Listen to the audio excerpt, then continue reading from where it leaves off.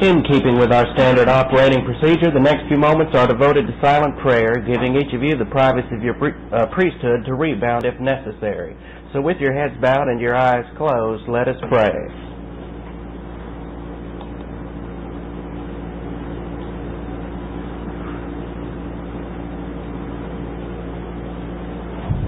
Father, we thank you for the wonderful privilege and opportunity to assemble ourselves together under the principle of freedom so that we might grow in grace and in the knowledge of our Lord and Savior, Jesus Christ, in order that we might become the pivot that may, uh, as an influence, restore this country.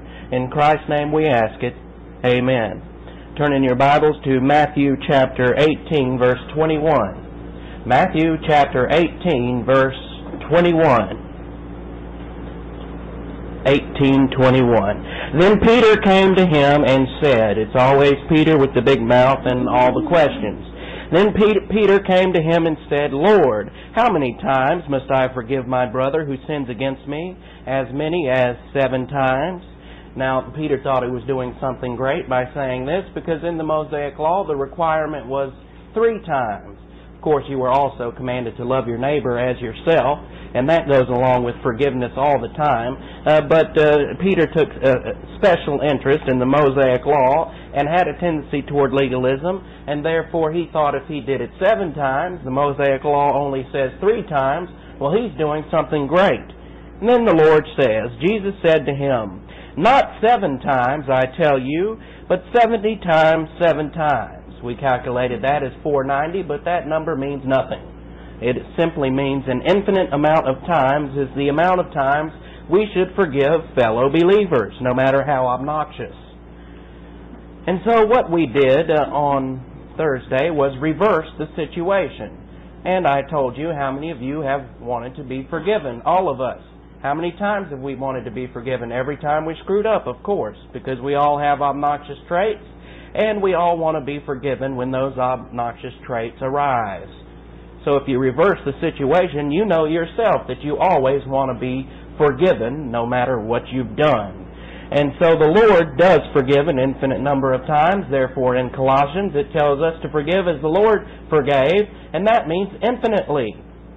If someone does you wrong, don't uh, get a chip on your shoulder and run around all mad. Forgive and keep moving. That's the only way you're going to live your spiritual life. If you get a chip on your shoulder and think you're always right and therefore you're going to be bitter the rest of your life, well, eat that bitter pill of arsenic and you'll die miserably. So every time you have a trait that is obnoxious and it comes out, you obviously want forgiveness. However, how many times do we give forgiveness to others who are obnoxious toward us? Not very, not as often as we would like to have forgiveness. Therefore, our Lord comes up with the parable of the implacable slave in 1823. Matthew 18:23. For this reason, and this is our Lord uh, beginning a parable. For this reason, the kingdom of heaven is like a king who wanted to settle accounts with his slaves. The king represents our Lord Jesus Christ, of course. And he wants to settle accounts with us. And when we believe in Jesus Christ, the account is settled. And all of us have debt. All of us are sinners, and we have accrued debt. And a lot of times you accrue even more debt by trying to be good to get into heaven. And you want to work your way into heaven, and every time you try to work your way into heaven, you're accruing debt, not relieving it. So the kingdom of heaven is like a king, Jesus Christ, who wanted to settle accounts with his slaves. 1824. As he began settling his accounts, a man who owed $10 million was brought to him. This is the equivalency of what might be in your Bible. It's approximately $10 million. Now, of course, there's been a lot of inflation, so it might even be more than that uh, by this date. Uh, these notes are probably uh, some of these notes and some of the the ten million dollar figure was made in 1965, so it's uh, adjusted for inflation. What would that be today? Astronomical, 100 million maybe. So because he was not because he was not able to repay, the Lord ordered him to be sold, along with his wife, children, and all he possessed, and repayment to be made. The Lord here is referring to that king. And because he could not repay the $10 million debt, the whole family was to be sold and put into slavery. That's analogous to the slavery of the old sin nature, the slavery of not being a believer. 1826 Then the slave threw himself to the ground prostrate before him, saying, Be patient with me, and I will repay you everything. 1827 The Lord, that is the king, had compassion on that slave and released him and forgave him the debt. Remember, this is approximately $10 million worth of debt. 1828 After he went out, the same slave, the one who had been released of the $10 million debt, the same slave found one of his fellow slaves who owed him $20. Then he grabbed him by the throat and started to choke him, saying, Pay back what you owe me. So there's a picture out of this parable. Point one, the picture is of the Lord forgiving us $10 million. Actually, an astronomical figure. Whatever figure's in your head, that's how much we've been forgiven trillions actually, but this is just a parable so that we can understand. Point one, the picture is of the Lord forgiving us $10 million. Point two, even though they have been forgiven a $10 million debt, they now try to run out and shake 20 bucks out of a fellow believer. They've just been forgiven uh, $10 million. Our Lord's trying to make it dramatic. It's as if you had a $10 million debt with the bank, and the bank says, nah, forget it.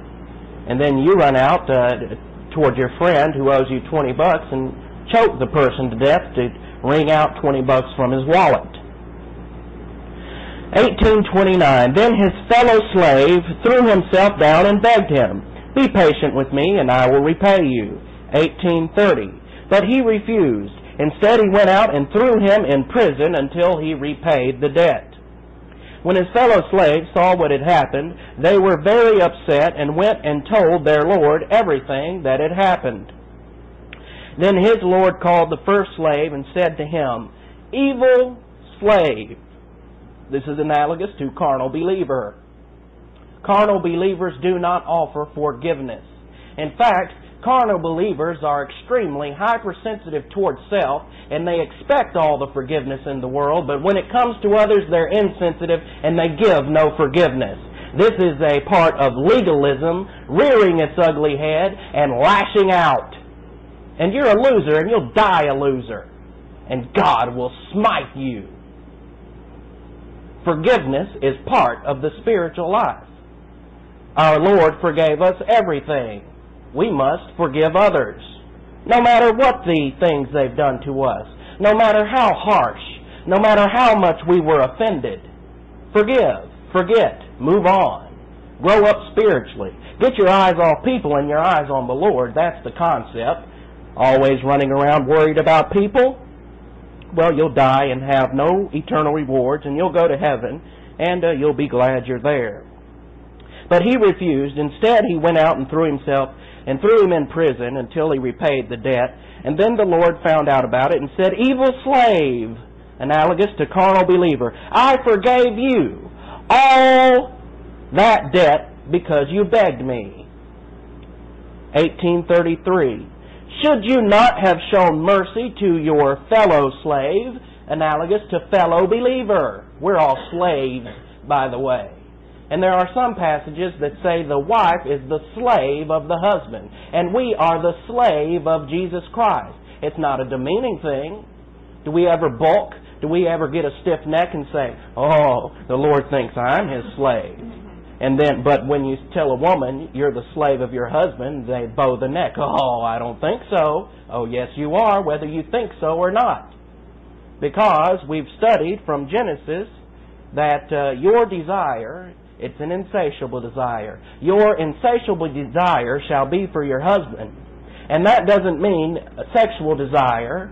It means you have a desire to override your husband's authority. You want to wear the pants. Yet God designed it in marriage that the man wear the pants, and Scripture backs me up on this. I wouldn't make it up. If it were the other way around, I would gladly follow it, but it's not. It's the man in authority, period. And in this case, we're all slaves of Jesus Christ. So he says, evil slave, uh, carnal believer, I forgave you all that debt because you begged me. Should you not have shown mercy to your fellow slave, just as I showed it to you? The Lord Jesus Christ has showed us a tremendous amount of mercy, and if we go around not forgiving fellow believers, but instead living under the concept of bitterness and constantly gossiping, maligning, and judging, and constantly ripping each other apart because you've felt harmed in some way, you have uh, insensitivity toward others, hypersensitivity toward self, and you've lost in the spiritual life. And our Lord sees this in the, in the disciples. And remember, the disciples make it, so there's hope for all of us. And right now, the disciples earlier, remember, had been arguing amongst themselves. Who's the greatest? I'm greater than you are because you're a so and so. And then the other person got offended. No, I'm greater than you are because I saw what you did last week. And then they got at each other's throats. And so the Lord has to put a stop to it and say, look, I've forgiven all of you $10 million. You're strangling each other for 20 bucks. It's time to forgive. Time to move on in your spiritual life. 1834. And in anger, his Lord turned him over to the prison guards to torture him until he repaid all he owed. A perfect picture of divine discipline for the carnal believer. It's torture. You don't want it. First of all, you torture yourself in bitterness. You're bitter because you were offended you're bitter because of something uh, that uh, someone has said about you or perceived to have said about you. So you are embittered. The Lord tortures people like that. They torture themselves, and then they're tortured by divine discipline. So, evil slave, carnal believer you receive the anger, as it were. That's an anthropopathism. The Lord has never been anger ever, ever. And this isn't really an anthropopathism because this is dealing with a parable and the Lord is a human king and human kings always would express anger at something like this. Just as David expressed anger when Nathan came up and said, uh, this man stole a sheep and then uh, killed the man. And then David said, well, he must be executed and pay back fourfold. And it turned out they were talking about David, and that was his punishment. 1835. So also my heavenly Father will do to you if each of you does not forgive. Now this is from the frontal lobe in the Greek. it's what you think. And you could uh, verbalize forgiveness, but if you don't think it, it's worthless. You could go up to say and say to somebody, I forgive you, and it's in the past. And then uh, you still, in your frontal lobe, you're still mad, you're still upset, and you're still ripping them apart, still going to gossip and malign them. And it's, so it's what you think, and that's the issue. This forgiveness is from the frontal lobe, the mind. You forgive them in your mind. So also my heavenly Father will do to you if each of you does not forgive in your mind your fellow believer. So if you harbor bitterness towards someone else, vindictiveness, revenge motivation, revenge modus operandi, if the only thing you want to do is destroy someone else because you were offended by them or insulted by them, then you are described in 1835 as someone under divine discipline and someone in which the Heavenly Father we just had a prayer meeting and we go into prayer humbly because it's our direct link to God. How many of you would rather right now be on a cell phone than listening to me? Do you know that when you go into prayer, it's as if you're picking up your cell phone and have a direct link to God? The Almighty God? Think about it. Think about how much, how much time you spend on a cell phone rather than in prayer to the Almighty God, and that's our privilege. Now, I'm not being legalistic in saying you should pray uh, all day, all day long because you have the right. I'm just telling you, maybe uh, in our frontal lobe, somebody needs to come first. Instead of somebody on your cell phone, maybe God the Father. And so you go into prayer, a direct link to God. And right here it says, My Heavenly Father, this is the Son of God speaking, and He's saying, Look, if you harbor these mental attitude sins and if you refuse to forgive, my Heavenly Father, God the Father, will do to you He's making an analogy. What will he do? He'll torture you all the days of your life. God makes war against the arrogant believer, but he gives grace to the humble believer. Do you want to make war with God the Father? Go ahead. You'll lose. Now we move on to Matthew 19, verse 1. Matthew chapter 19, verse 1. Now we get into the subject of divorce again. We studied divorce in detail, so I won't go over it in detail again, but there are some remaining principles. Now what we have here is uh, the fact that some scribes and some Pharisees, actually these are Pharisees, and they come up to the Lord with four phony facades.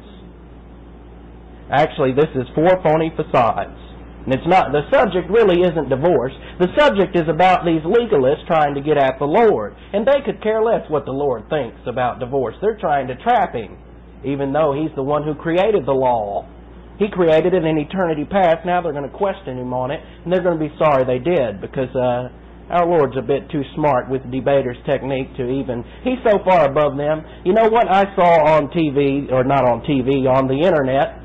Uh, Judge Roberts being interviewed. He's the one up for the Chief uh, Justice of the Supreme Court, and he was being interviewed by uh, most of them Democrats, a few Republicans even, joining in on the criticism.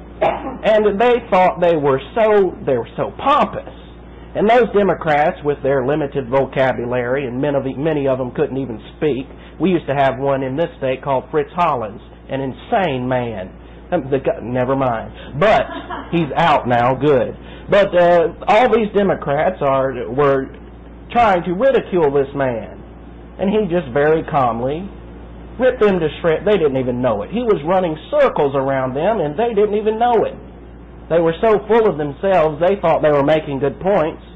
And then uh, he would use vocabulary. They were lost, and it was obvious. And he's going to pass, by the way, because uh, he pretty much humiliated them without even raising his voice once.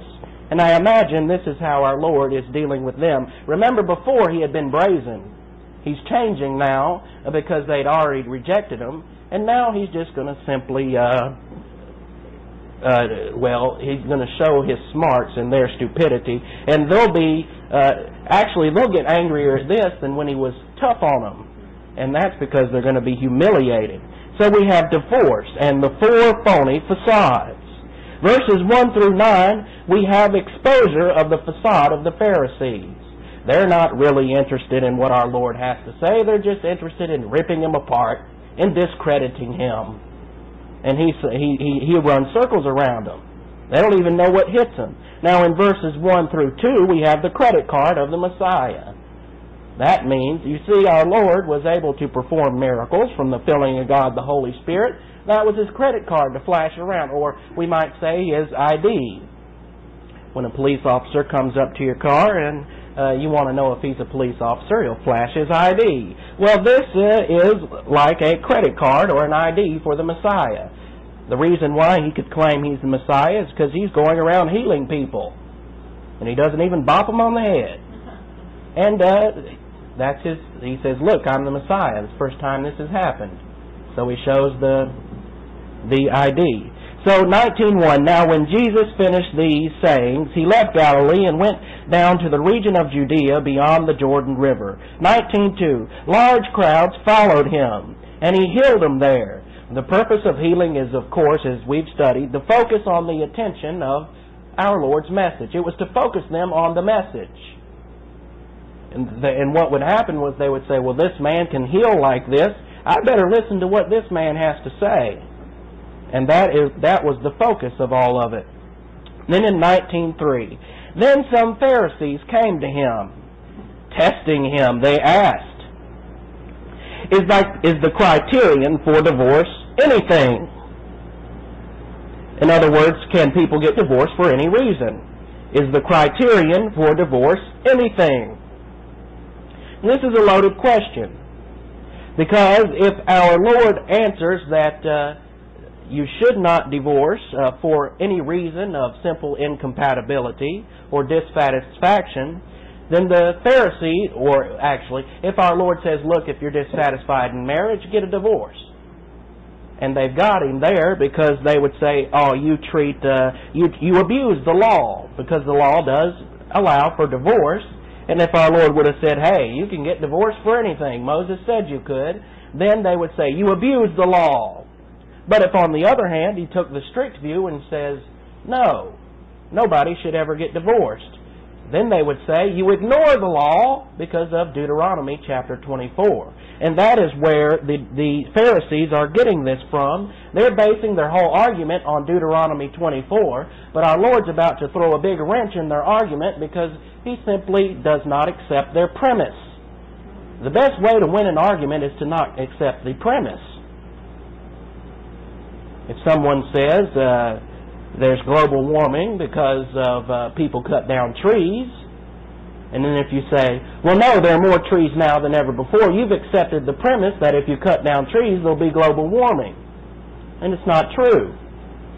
Cut down all the trees you want. It's still, you still won't have global warming. But if you come at them like this and say, well, there's really more trees now, you've just accepted the premise. And there's a way, a debater's technique, in which you don't even have to accept the premise. And if you don't accept the premise, you can throw a wrench in their argument uh, by using some other premise. Now we'll see a little later that our Lord actually accepts the premise of someone that's completely wrong. They say salvation is by works.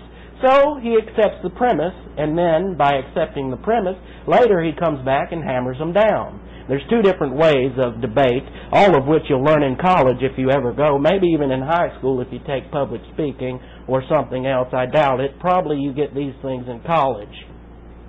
So the Pharisees came testing him and they asked, Is the criterion for divorce anything? It's a loaded question. And their loaded question is built around Deuteronomy 24, 1 through 4. What did they do in 24, 1 through 4? Well, it uh, we'll get to it and we'll quote the passage, but I, I need to tell you something about the loaded questions. If you ever get a call from a pollster and they want your answer to come out a certain way, they'll load the question. For example, they'll say, uh, since New Orleans was hit by a hurricane and there was mass disorder following the disaster, would you say that George W. Bush is a good president or a bad president? Well, the first part of the question is loaded. If you come out and say, oh, George W. Bush is a good president, you look like an idiot because they've just based the whole premise on the fact that uh, New Orleans is wiped out and had disorder because he's a bad president. No, New Orleans was wiped out and had disorder for many reasons. And the president can't be held fully responsible.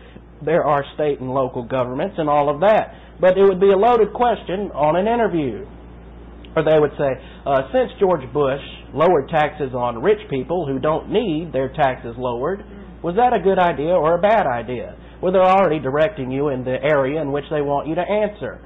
And so don't believe these polls if you ever read them. I doubt you do. Don't waste your time. And that, so we move to Deuteronomy 24, 1 through 4. So turn in your Bibles to Deuteronomy 24, 1 through 4. This is actually the basis in which the Pharisees try to build up their argument. And they know 24, 1 through 4, Deuteronomy 24, 1 through 4, very well.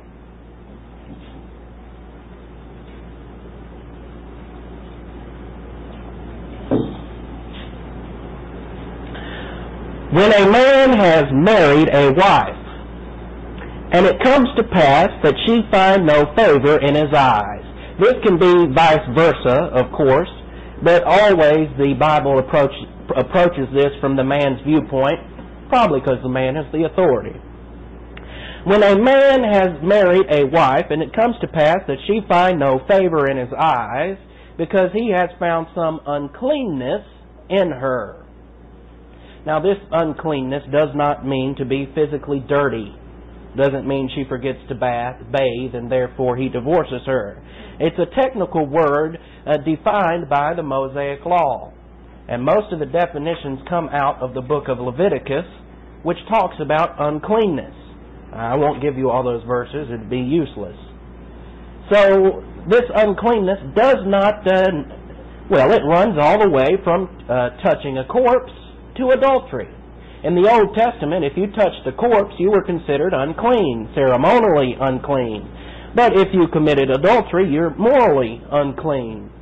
So there were literally hundreds and hundreds of ways in which a person could become unclean. And they are divided into two categories. First of all, we have ceremonial uncleanness. Ceremonial uncleanness. Secondly, we have moral uncleanness. Now, in Deuteronomy uh, 21:4, the uncleanness for divorce is moral uncleanness.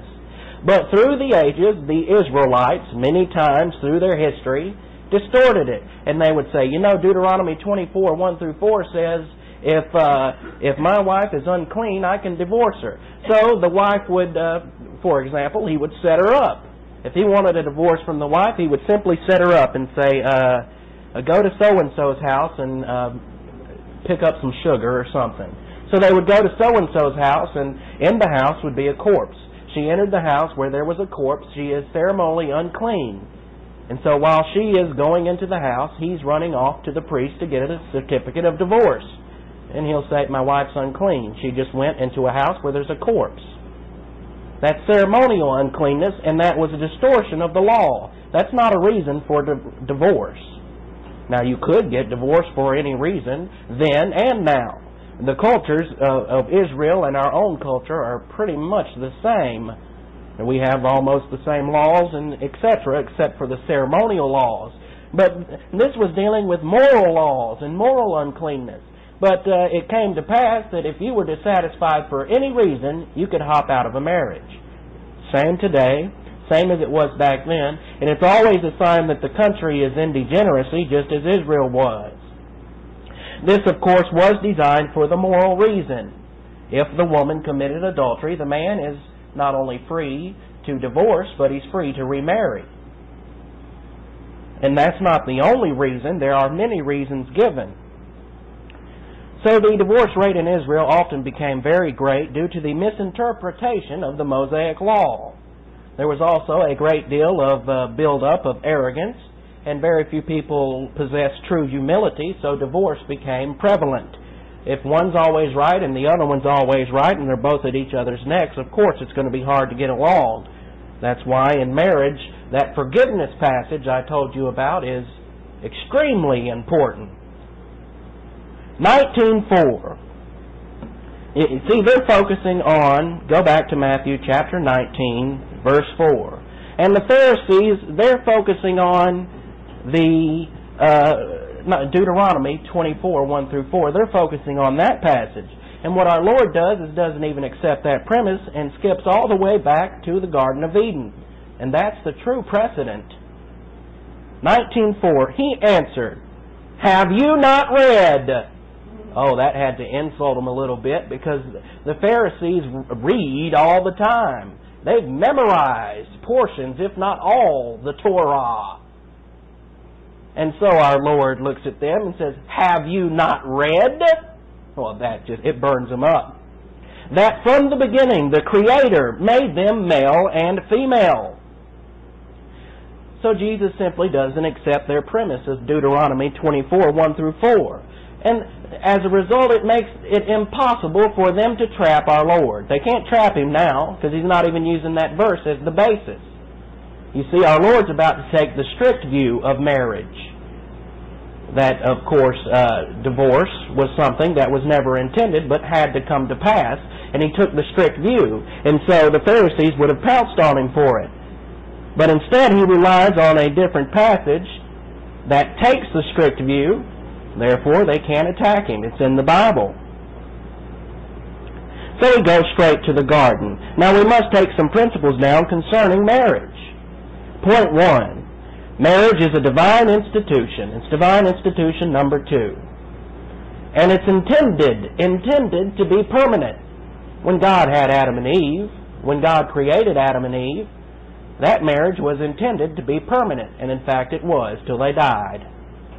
Adam loved his wife very much, and his wife actually took control of the marriage, and I know this because of Cain and Abel. Their family was dysfunctional. Eve took over. She took over from the beginning, remember? She forced him, or didn't force him. She asked him to eat the fruit, and he did. And they had a dysfunctional family ever since. Remember Cain and Abel? Cain killed Abel. And uh, if you have a marriage in which there is uh, a revolt on part of the wife, it causes the children to have uh, well, it's dysfunctional, and they too may revolt against authority. Now, it doesn't mean if you have a wonderful marriage that your children will always turn out wonderful. There's always the concept of a bad apple, and uh, they just make the choice, no matter how great a family they come come from, to be bad. So if you see a terrible child, it might not always be the parent's fault, and that shouldn't be a point of judging anyone anyway.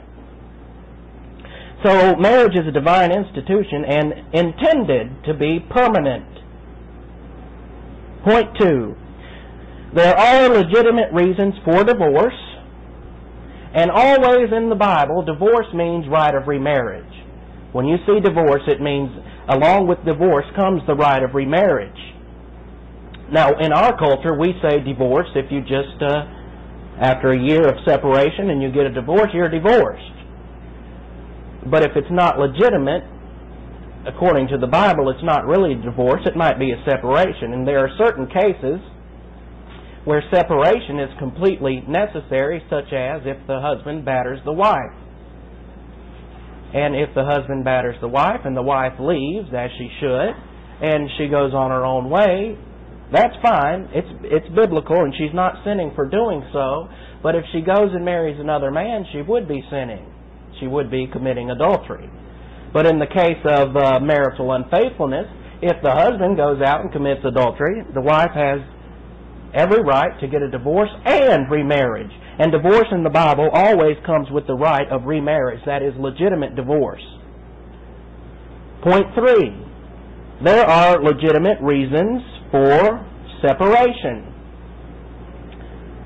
Yes, some people stick it out. Some people separate.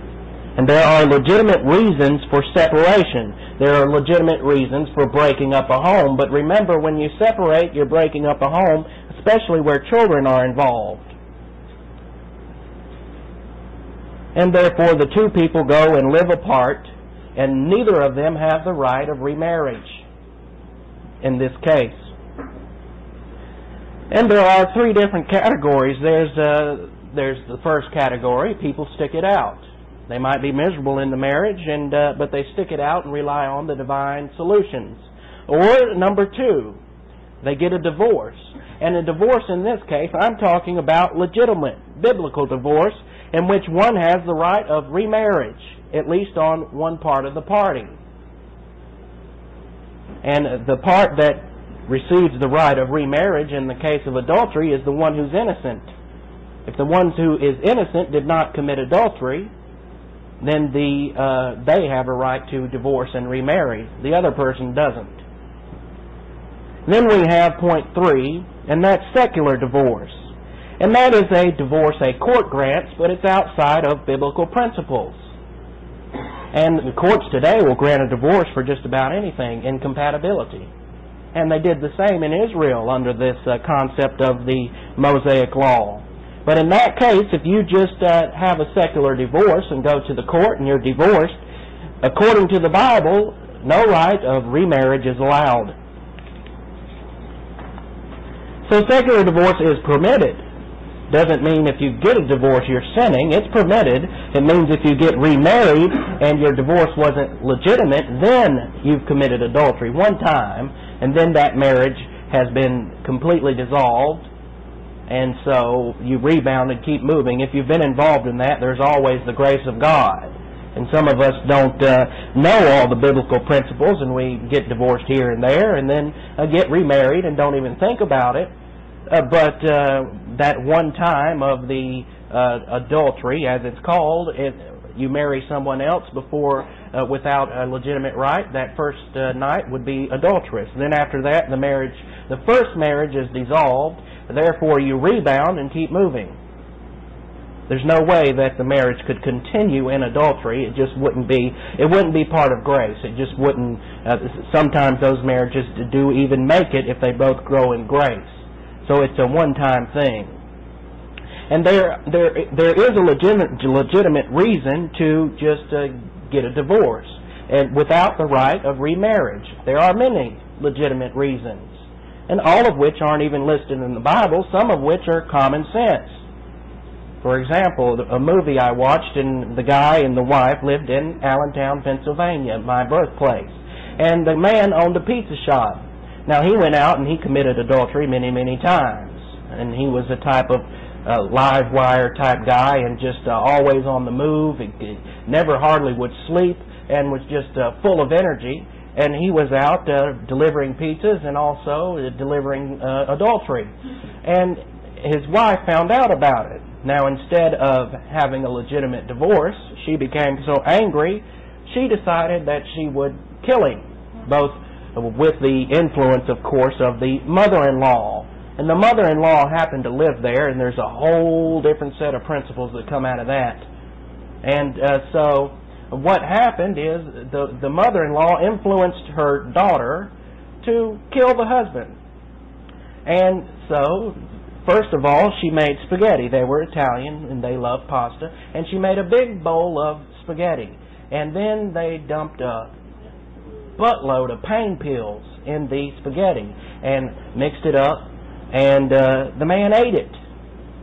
And but it had no effect on him and he was run, he said, "Let's play Monopoly." and they all went out into the living room, into the kitchen, and played Monopoly. And then he got hungry and said, uh, "Give me more of that spaghetti." and he was eating it like crazy. No one else would touch it, and he was just uh, unstoppable. And everybody else was trying to fall asleep, and he's wanting to play board games. Well, finally he goes to sleep and passes out in the bed from a stomach ache, of course. And then uh, she says, "Well, let's kill him." And so they bring in some dope heads. It's really a good movie. I don't remember the name of it. Love You to Death. I would. It's an older movie, but uh, in the 80s, I believe. But I would recommend it. It's funny uh, because uh, they get these dope addicts to go in the house and shoot the man. Well, they're so doped out of their head, and they're trying to figure out which side's the heart on, and they the heart is on, and they put uh, their hand over this side, and then their hand over that side, trying to figure out which side, and then they don't figure it out, and so they just close their eyes and shoot. And I think they missed, and then finally, uh, either the mother-in-law or the daughter, I can't remember which. I think it's the daughter goes up and uh, gets enough nerve to shoot him. No, they accidentally hit him in the head, didn't they? Well, they shot him in the head, and uh, and then the wife feels very sad about it. So she goes downstairs, and she's Catholic, and she starts praying to the uh, idol of Jesus Christ she has there, and she's begging for forgiveness. And while she's begging for forgiveness, this man walks down the stairs and says, honey, I have a headache, get me some aspirin or something. A true story, by the way. All of it's based on a true story. But the point is, in the end, let's take the divorce out of it. Uh, or let's take the adultery out of it, because in the end, uh, they get, go to court for murder and all that, or attempted murder, because he lives, but he decides to stay with the woman. Says the woman made him change his mind about his lifestyle. It's a hilarious movie. You should watch it. But the point is, in that case, let's say the man had never committed adultery. The point is, if uh, some woman's crazy, shooting you, throwing pots and pans at you, you have a legitimate right to divorce the nut. You have a legitimate right to go away from her. But you do not have the right of remarriage. And in this case, if he had not committed adultery, he was free to go then anyway. But if he had not committed adultery, and she was acting like that, uh, he should leave her, and should have left her and it would not be sin. And the reason I bring this up is because so many people get on their high horse concerning divorce. And some people say, I'll never divorce that, I'll never marry that person because that person had a previous divorce. And sometimes the pastor has had a divorce before and they say, oh, the Bible says he must be married to one wife and he's had three divorces. They're so stupid they don't even, he still, if he's married, is still married to one wife. That means no polygamy. It means uh, he can't be married to three women and run a church. How could you? You're running a, an insane asylum with three women, especially if they're all pregnant at the same time. You know pregnant women, you get three of them pregnant at the same time and you're married to them. Muslims are under a lot of punishment, I'll tell you, because those Islams, they uh, marry all these people and think it's wonderful. They're crazy. And so, of course, you're not going to be a pastor with three wives you won't have time to study. And then, uh, but it means uh, be married to one wife at a time. And sometimes pastors have had legitimate divorces. Sometimes the woman has ran around on him. What's he supposed to do? Just sit there and take it? No, not as a pastor especially. He's supposed to show some backbone. And any pastor would sit back and simply take that. He's the one who shouldn't be a pastor. If the man said, look, you whore, I'm getting a divorce from you. He doesn't even have to say that with any type of bitterness. It's just a fact. I'll get a divorce from you now. Go on and sleep with however many men you want to. I'm getting a divorce. And then the whole church goes, ooh, we got to get rid of that guy. He's had a divorce. There are legitimate reasons for it. And let's say she didn't even commit adultery, but she's beating him every night with pots and pans and trying to shoot him. This happens. He has a right to divorce and vice versa, of course. But along with that does not come the right of remarriage. So don't get legalistic about uh, this divorce thing. And our, our Lord knew that he was being trapped, and he knows everything regarding this. Now in 19.5 he says this, and quotes from the Old Testament, and said, For this reason a man will leave his father and mother and will be united with his wife, and the two will be one flesh. The most interesting thing about this verse is the fact that in Genesis, when our Lord gave Adam and Eve this verse, they didn't have a father and mother. They hadn't even fallen yet. They hadn't even ate of the fruit. They didn't even have a concept of family. And so he's saying to them, having no mother and father, for this reason a man will leave his father and mother and be united with his wife, and the two will be one flesh. He says it in anticipation, and so that our eyes will be open to the fact that uh, mother-in-laws do not have any say in a marriage. Mother-in-laws have no say in the marriage. Oftentimes, mother-in-laws like to get involved in uh, the, uh, for example, uh, they'll want to control the wedding and control who the pastor will be and control how this will be and how that will be. I watched a movie the other day. You probably think all I do is watch movies. Uh-huh. It's, it's just the few ones I watch, I remember them. And it dealt with a mother-in-law who was very forceful. Monster-in-Law is the name of the movie. And Jane Fonda plays it. Don't like her personally, but she's a good actress. And she played in this, and she was a real kook, nut. And she's trying to run everything. And instead of the man, the man should have had enough spinal cord to stand up and say, look, this isn't your marriage. I'm getting married. You deal with it. You go to hell. Get away. Well, he wouldn't say that. Of course, it's his mother. But he could say, uh, you stay out of it. Otherwise, I'll have to separate from you. Because one of the highest causes, the highest reason for divorce is mother-in-laws. It's true. It's documented. And this is why the Lord brings it out so early. Leave father and mother and be united with wife. Doesn't mean you have, you can move across the street and leave father and mother. It's called it's a, really a mental separation, a dividing line where uh, you've had your marriage and the authority lines of your marriage. Your husband should have been the authority, probably wasn't. That's why you're trying to run everybody's life.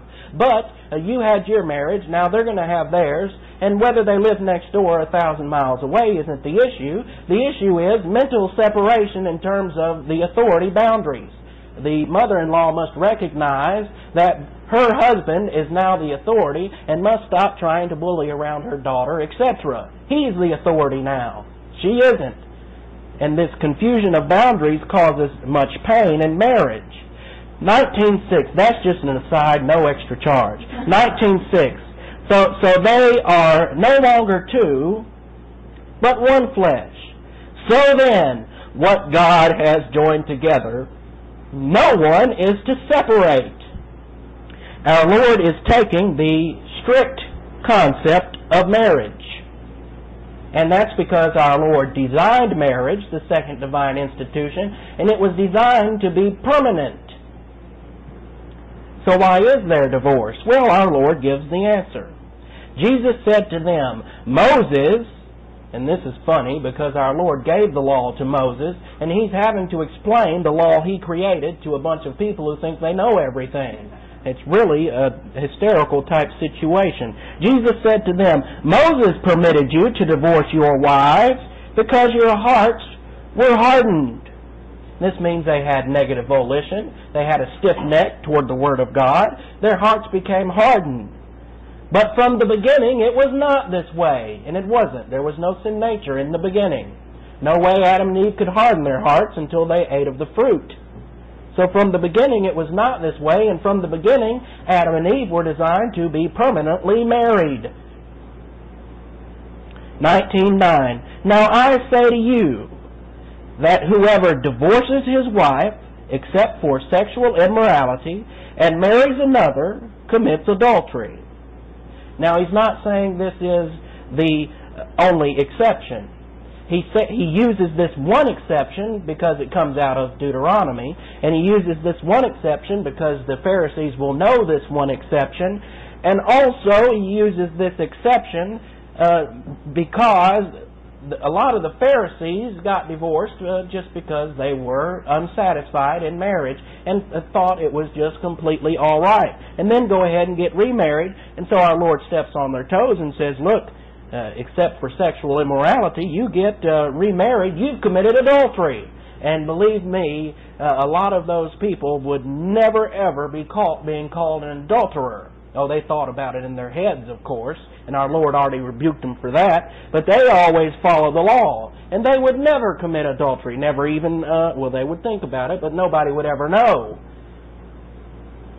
And so th- all the time, these people are being trapped they thought they would trap the Lord, and He just uh, turns it right around on them.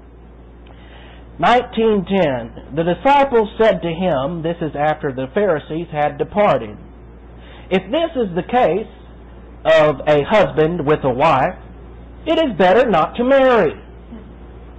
Well, what happened was uh, the disciples heard this uh, for the first time. They had always taken the Pharisees' view that divorce was for any reason. And then when they find out that uh, if you get divorced for any reason and get remarried, you've committed adultery, well, that just took them aback. They'd never heard of it that way before. And so they all got together and started discussing amongst themselves and said, you know what, it'd be better not to even get married with this, this such a strict view of it. And this, by the way, was a, was a thought that the Apostle Paul had in 1 Corinthians chapter 7. It was, it was a thought from the Holy Spirit. But what our Lord is about to do here is give three different categories of celibacy. And uh, which, for some people, they have the gift of celibacy. Most of us do not have the gift of celibacy. If everyone had the gift of celibacy, there would be no continuation of the human race. But our Lord did give the gift of celibacy to a few people because of their special status in life, such as the Apostle Paul. And what the disciples had to say is probably one of the smartest things they've said in a long time. Well, if this is the case of a husband and a wife, it's better not to even marry. Well, according to the Apostle Paul, it's true. So he said to them, Not everyone can accept this word, except those to whom it has been given. That means except to those who have been given the gift of celibacy. Some people, like the Apostle Paul, were given the gift of celibacy. Therefore, they had, uh, they knew it. They knew why. The Apostle Paul knew why he had it. He had to concentrate on the Word of God. He didn't have time for the normal things we have time for in life, such as marriage and family. He would have been studying all the time, and the wife would have been neglected. So God says, "All right, you have the gift of celibacy. You were, you are not designed to be married." Doesn't mean he didn't have normal sexual desire toward women. Doesn't mean that at all. He still did. And but don't feel sorry for the apostle Paul. He had something greater than marriage he had a double portion of love from God the Father and toward God the Father. That's where all his love was spent. Then in 1912, for there are some eunuchs. These are people who are born with no libido. A eunuch. Doesn't mean they don't have genitalia, it means they have no libido. And they're born that way. It, it doesn't. Don't confuse this with impotence. Impotence comes later in life, sometimes from physiological things, and sometimes because of mental reasons. But you don't confuse this with impotence. A, a, a person who is uh, a eunuch who were that way from birth are people like Richard Simmons, a eunuch uh, from birth. Now, I, I, I always thought he was, I know, I always thought he was, I always thought he was homosexual. But uh, my mom got a book on him and read up on him, and he claims he has no sexual desire either way. And he's not homosexual, and he doesn't even care for women either. There are some people born eunuchs with no desire. The Apostle Paul was not a eunuch. Richard Simmons may be, but the Apostle Paul isn't. And he's a funny looking character, and we shouldn't laugh about him. He had uh, eunuchs have the same right to grow in grace and in knowledge as everyone else. So for there are some eunuchs, no libido, who were that way from birth, and some who were made eunuchs. That was from castration. And back in that day, if the king uh, wanted a lot of male servants, and he didn't want them to mess with all of his wives, he would castrate them. And so they would not uh, have any sexual desire for all his women. And they, these are people made eunuchs by others. And some who became eunuchs. This would be like the Apostle Paul. They chose celibacy. The Apostle Paul chose celibacy for the sake of the kingdom of heaven. The one who is able to accept this should accept it. And the only people able to accept this are people with the gift of celibacy. Everyone else has the, as the Apostle Paul calls it, fire, passion, lust. And he had it too, but uh, he could control it. We can't, so we have marriage. And in the next hour, we'll move to Jesus and little children. So with your heads bowed and your eyes closed, Father, we thank you for the wonderful privilege to study this portion of the Word. May God the Holy Spirit enlighten us to the things that we have noted so that they can become a source of blessing and challenge in our lives. In Christ's name we ask it. Amen.